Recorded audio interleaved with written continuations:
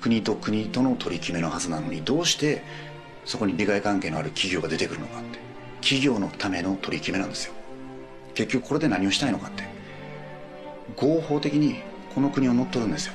合法的に経済的に侵略するんです。それが TPP なんです。でもおかしいじゃないかって。テレビ新聞が流すはずだよって。違うんですよ。テレビ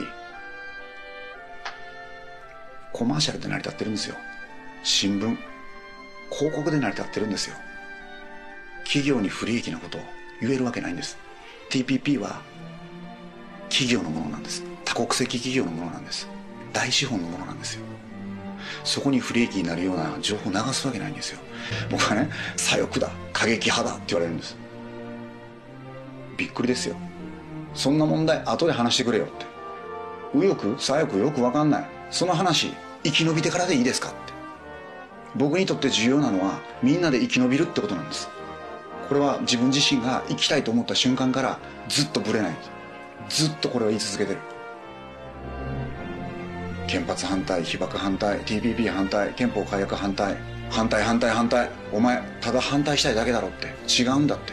今僕たちが生きてるこの世界は与えられたシチュエーションは反対しなきゃどうしようもないことだらけなんですよ。気が付いたらそんなとこに僕たちが生きてたってことに気づいたんですよ。じゃあ自分は何ができるんだって。自分の置かれたシチュエーションで何ができるか。出してないカードなんだよお前って。自分自身に問うた時に立候補しようって。立候補して何ができるんだよ。お前一人だろって。無所属だろって。どんな力があるんだよって。もしも国会の中入れたとしても何ができるんだよっ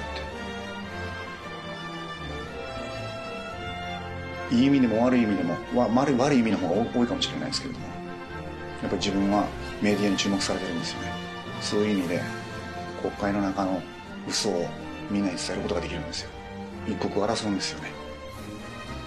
全力で皆さんに地位を借りて一歩前に踏み出して大きな声で訴えていくってことが必要なのかなと思いました。